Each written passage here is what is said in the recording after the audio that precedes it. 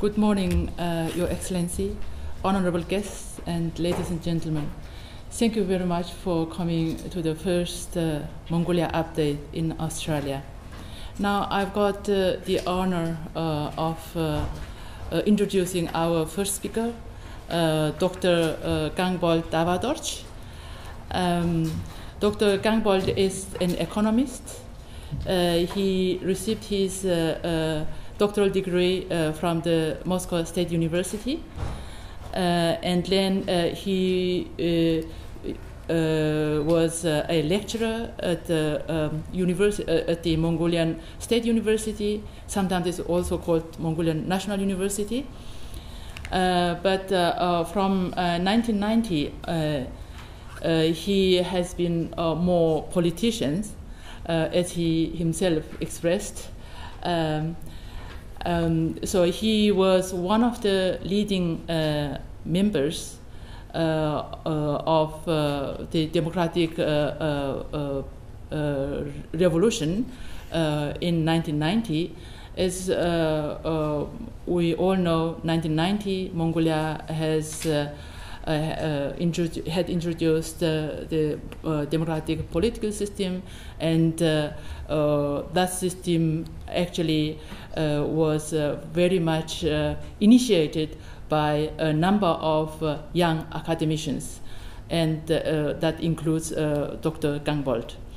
And he um, uh, he was the first uh, deputy prime minister um, uh, of the uh, new political system, and then he was uh, he also served as the deputy mayor of Ulaanbaatar city, and so he has been in many uh, uh, important political position, and he has been constantly in the in the parliament. So he has a good uh, knowledge. To analyze the Mongolian uh, uh, economic policy and the challenges Mongolia uh, has been facing. Good morning, everybody.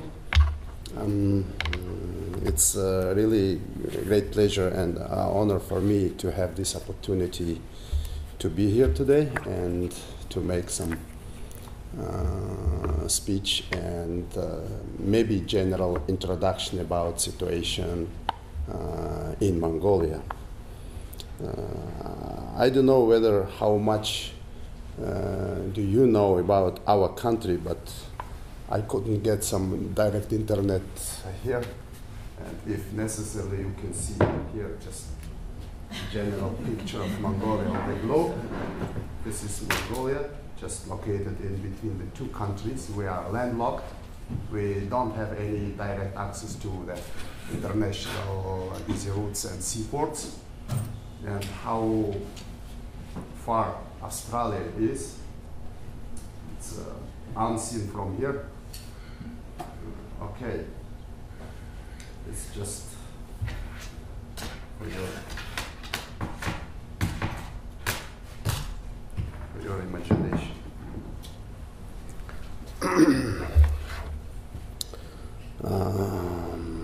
First of all, I also would like to thank our host, Australian National University, uh, for their warm welcome and hospitality. Uh, there were times uh, my country voice uh, was not heard beyond our borders. Uh, the times when Mongolian economy was so dependent on a single market, the former Soviet Union. Uh, at the time, the Soviet Union accounted for 85% on our foreign economic relations, and so named the Council for Mutual Economic Assistance. It's also named it's an international organization for socialist countries, um, uh, excluding China. Uh, as a whole, accounted for 97% of Mongolian economy. Since the transition from socialism, the Mongolian economy has changed dramatically over the past 20 years, both politically and socially. For 300 years before its transition to socialism in the early 20s, Mongolia had been one of the most backward countries in the world. Mongolia had an early feudal, natural economy with a communist regime in its most rigid and most intolerant form. This reign of totalitarianism, uh, with its economic analog, central planning, lasted for the lifetime of the three generations. And this uh, could not be, uh, not but uh, leave deep imprints in every sphere of our society. But these extremes of isolation and repression have only heightened the determination of Mongolia for change. Therefore, during the past 20 years, following the transition from socialism to democracy, Mongolia was able to establish a multi-party, political system, conducted six consecutive parliamentary elections in parallel with the inauguration of presidency, uh, and uh, has formed a parliament in its true meaning. It's very rare that a country has been isolated as Mongolia, not only from the seas, but also from all major international routes. Our only immediate neighbors are, as I um, uh, trying to show there, uh, neighbors are Russia uh, in the north and China in the south, the two powers with the greatest uh, physical parameters in the world. As a member of the WTO and as a trading partnering with the other countries of the region and beyond, trading logistics is carried out only through the lens of our two neighbors and mainly via railway system because we don't have any other access to the international markets. During the past 20 years, conferences about Mongolia were based on the transition of our country from communism to democracy and discussing general macroeconomic reforms such as privatization, maybe institutional reforms, legal reforms, political transitions, and maybe sometimes the, some cultural and just general ethnographic aspects of our country. Today's topic on Mongolia have become more rich and diversified and have allowed us uh, to tackle more specific and sensitive issues concerning our economy, maybe everyday's uh, political life. Every country has its own plan of development and ways of economic progress.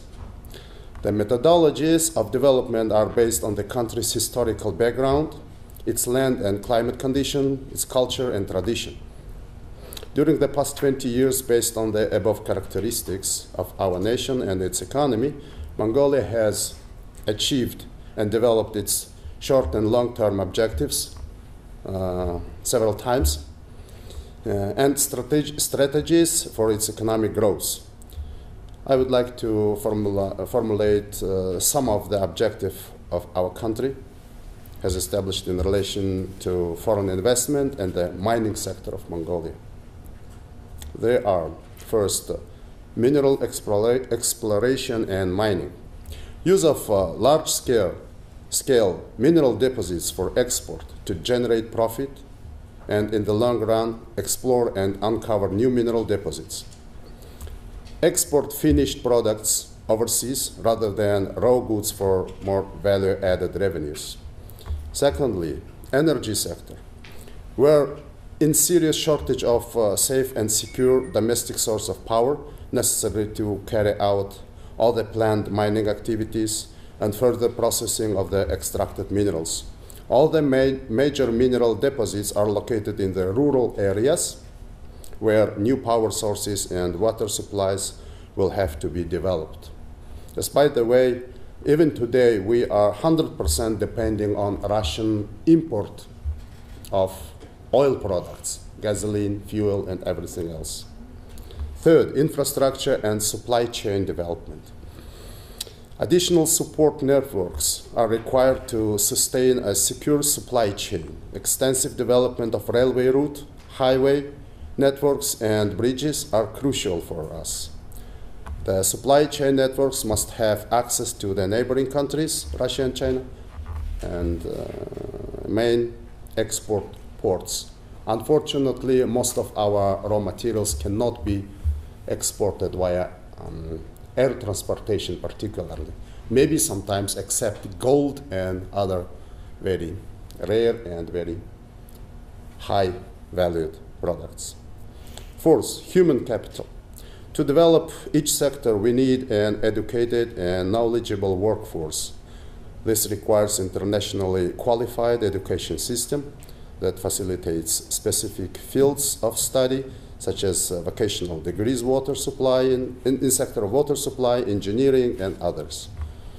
Plus, government management is required on all levels of this education system. Unfortunately, today's situation is almost uh, three quarters of all our students are students in the humanitarian sectors journalism, legal system, maybe economy, economics, etc. Unfortunately, uh, in the sector of the real economy, we have very, we are still facing very big shortage of the uh, internationally accepted, high educated people. Implementation of the above goals depends on certain factors. Therefore, let me give a brief details on some of the most influential factors in implementing the above mentioned objectives. First of all, the geopolitical factors. In terms of uh, multinational company competition, there are always supporting government's interests behind these companies, and no country is an exception to this matter. Russia and China, our direct neighboring countries' interests, are more feasible and direct in regards to Mongolia while other third countries, particularly Korea, Japan, US, maybe Australia, are more indirect and sometimes even invisible. About Chinese interests here.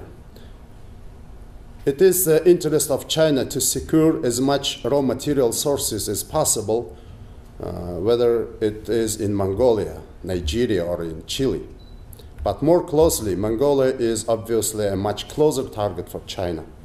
So, so it is understandable that Chinese would like to see Mongolia development develop its infrastructure.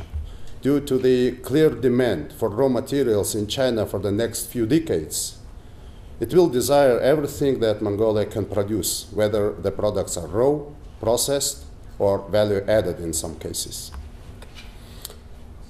Russia has been a Mongolian traditional partner for many years, both politically and economically. It has recently joined the APEC as a Pacific Economic Council, since they would like to develop their resources in the regions where they are located, Far East, Siberia, etc. Russian economy is based also on raw material exports. We have many similarities in this field with Russia. Therefore, recently Russia is becoming a competitor to Mongolia since both countries will be producing the same products, raw materials, in the next few decades also. We, for instance, once Tavan Tolgoi and Oyu Tolgoi starts products and initiates its supply to China, the future economics of Russian projects may start becoming less attractive than before. Hence, here, hence there are hidden influences and perhaps interests by the Russians to delay and progress in relation to production in the mining sector of Mongolia.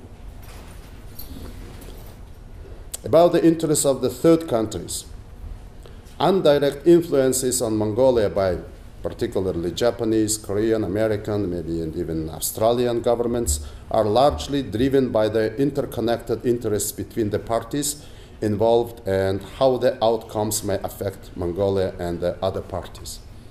Therefore, implementation of any large projects will be wrapped in various interests, sometimes powerful, of the countries involved. So let us not be naive to assume that end of the Cold War means the end of competition among the powerful countries.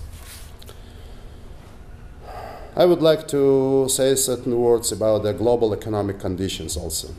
The chain reaction caused by the economic recession in the United States, European Union, and the slowdown in Chinese economic growth is still having lingering and very real effects on the global economy. This is no exception to Mongolia as well. Uh, cyclical natural, nature of the global economy has taken effect also. East Asia and Pacific region has also been hit hard but the global recession, and uh, despite the environments and progresses, we are still far from the high uh, highs uh, we saw in 2008. China is mentioned had undergone a rapid uh, decrease in its economic growth, and since they are Mongolia's biggest consumer of raw materials and main revenue generator through mineral exports, we are seeing the effects on this recession in Mongolia as well. Due to our small sized economy and high dependence on global commodity fluctuations, we are left at the mercy of this large shift around the world. Therefore, any large foreign company operating in Mongolia should take this matter into consideration. I'm sure Australia is very well informed about this uh, different aspect of these uh, problems, and so I will not uh, dwell upon this topic too much. Uh, our domestic situation. Mongolia is a, a country that is still going through a post transition period from socialism. We have never had experience in implementing a globally significant projects in Mongolia since recently. Some maybe mention Erdenet, the first and largest copper plant in Mongolia, uh, established in early 1978. But the company was developed under full supervision and control of the Russians during the communist time. Second is uh, Ulaanbaatar Railway Company. It was also a major project in Mongolia, but was also under the strict control of the Soviet Union. The company was established in 1949. Just a few years ago, this company celebrates 60 years anniversary. Now is 62, 63 years anniversary. Therefore, Mongolia had no say, no say in the decision-making processes and had no gain from the revenue allocating as the project was implemented right after World War II. Moreover, Erdenet is a very opaque company with a very specific and non-common interconnectedness with the global markets, its practices, and experience. More recently, Oyu Tolgoi and Tavan Tolgoi, the two largest copper and coal mining sites respectively, have become one of the biggest projects we have had to tackle during the course of the last few years. Hence, the general public is having strong reaction to this project as such undertaking concerning critical mineral deposits such as gold, copper, iron, coal, and rare earth attracted a great deal of international and geopolitical interest in Mongolia. This is why Mongolian public is facing an undefined issue undefined issue on whether natural exploitation under foreign investment is as beneficial for Mongolians as it is to their foreign investors. Secondly, Mongolia is one of the few post communist countries that is attempting to implement multiple economic, political, and social reforms. Hence, very often the government has a very poor records of maintaining consistent policies. Sometimes uh, the reason for this is democracy itself, because democracy brings opportunity for every single individual, which means sometimes there are people of various backgrounds, education levels, and beliefs in charge of important decision making stages of the country.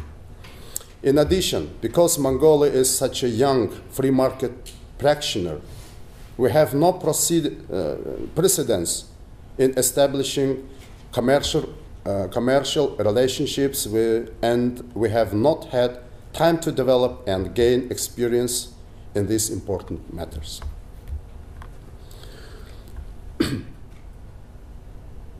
The roots of planned economic policies are also having lingering effects. For example, many Mongolians, including four top ranking politicians, believe that obtaining a 51% ownership in any project is the ultimate goal and ultimate guarantee of success, while there are so many other crucial factors that need to be taken into consideration. Perhaps these are the leftover effects of leftist thinking. This is why our country needs experience, management, and ability to raise funds from foreign countries, especially with an increasing rate of investors. As greater the number, the more complicated the issue becomes.